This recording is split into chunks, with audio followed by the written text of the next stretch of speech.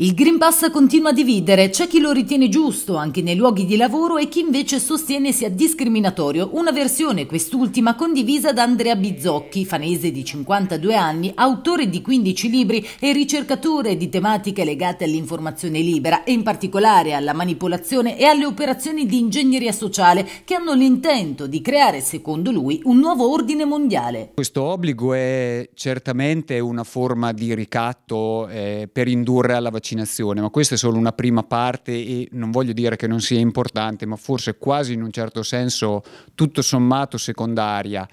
C'è una forma di discriminazione che peraltro è vietata sia dalla Libera 253 del 2021 del regolamento europeo che dice che, vaccin- eh, che, le persone che non sono vaccinate non devono essere discriminate. Mi si può ribattere che uno non è discriminato perché se si va a fare i tamponi, però capiamo bene che è una forma di ricatto nonché di obbligo, tecnicamente si chiama obbligo indiretto, perché uno deve andare a farsi i tamponi ogni due giorni, paga 15 euro ogni volta, perdita di tempo, stress, tensione, tutto quello che vogliamo. Andrea poi ha spiegato anche le altre finalità del lasciapassare imposto dal governo che ha dichiarato aprono scenari inquietanti. Secondo lo scrittore nel codice a barre bidimensionale legato alla carta verde andranno ad unirsi la patente, la tessera sanitaria, il passaporto, il conto corrente e non solo. Questo QR code nel quale andrà a confluire tutta la nostra, di fatto la nostra persona,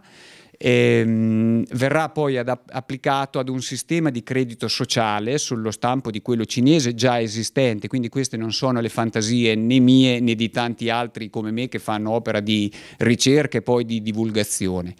Eh, per chi non lo sapesse, il sistema di credito sociale ti dice che se tu passi con il rosso io ti tolgo 20 punti dal QR code e, e può starci ed è giusto, fai un'altra cosa che non va bene, ti tolgo altri punti e va bene, critichi o, o perlomeno metti in dubbio, non lo so, la narrativa ufficiale dominante eh, del governo, eccetera, ti tolgo 500 punti e così via. Quindi c'è un sistema di punti, mentre se ti attieni alle direttive io ti do dei punti. Tutto questo, ha proseguito Bizzocchi, servirà per un controllo totale e poi ha ribadito questi sistemi nel mondo. Esistono già. Nel momento in cui eh, il, il, il, QR legato alla tua persona viene bloccato perché sei andato sotto con il punteggio, tu ti possono bloccare il conto in banca, eh, ti possono impedire di, di andare al supermercato, di, di, di, fare viaggi, di qualunque cosa la vendono come tutto e come, e come, sempre come una cosa quasi di libertà, mentre io ci vedo una schiavizzazione un, totale dell'essere umano purtroppo. E dunque quale società ci aspetta? E mi viene da dire che è una società del, di, di, di, controllo tecnocratico, ormai attraverso gli strumenti tecnologici è possibile controllare assolutamente tutto e quindi voi capite che i margini di manovra ma per vivere liberamente, non per fare chissà che, sono terribilmente, verranno terribilmente ridotti. È una società eh, contro, che io definirei disumana e controumana. E c'è un messaggio che vuole lanciare ai nostri telespettatori? Sì, beh, il messaggio è di mantenere sempre comunque la conoscenza, secondo me è fondamentale eh, perché è il primo passo e, e, poi ci vuole anche un po' di azione. La cosa fondamentale è che la gente si unisca, si riunisca, ricreiamo relazioni tra di noi, dobbiamo cercare di capire che